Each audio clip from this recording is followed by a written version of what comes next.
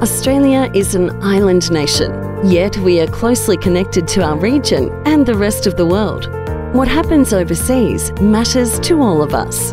That's why the Australian Government has developed a plan, the Foreign Policy White Paper, to ensure we benefit from our international links. Our plan sets a clear direction for Australia. Our highest priority is to keep Australians safe at home and abroad. We will work to keep markets open and trade flowing to provide opportunities for Australian businesses and workers.